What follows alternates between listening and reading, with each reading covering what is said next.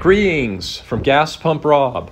Yesterday I spent quite a few hours on a Kansas scrapyard property. You might have seen my video where I was out in the pasture shooting video clips of old cars and trucks out in the weeds. Well, this is the other half of what I did yesterday. I was in a barn building on the property and the owner allowed me to pull all these signs off of the walls some of them were buried under stuff, some were up in an attic. And uh, what you're looking at here are all the items that I was able to purchase from him. He was very kind to me to let me in there and trust me. It was uh, hard work, but very rewarding. There's a wide variety of signs here. Some are tin, some are porcelain. There's a few reproduction.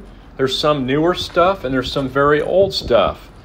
There's also a lot of local history stuff like Kansas wellhead signs, um, feed and seed signs. I also pulled some embossed road signs out from the weeds early in the morning today. They're sitting over by my truck. You'll see them in a little bit here.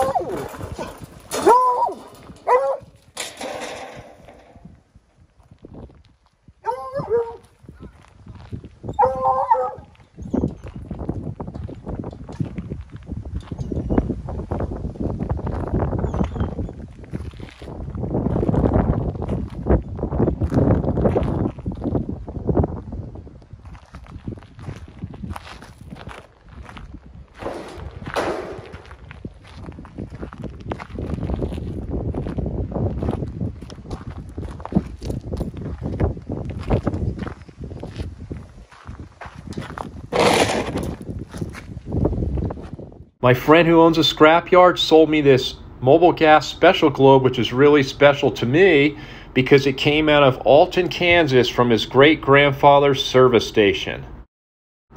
This is a Sinclair gas station sign holder that I found on the property.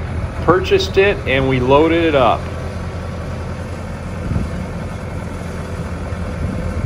Thank you for watching my first YouTube short video.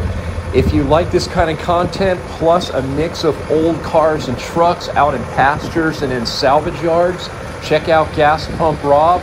My main videos are up, and I have over a hundred at this point that you can enjoy when you have the time.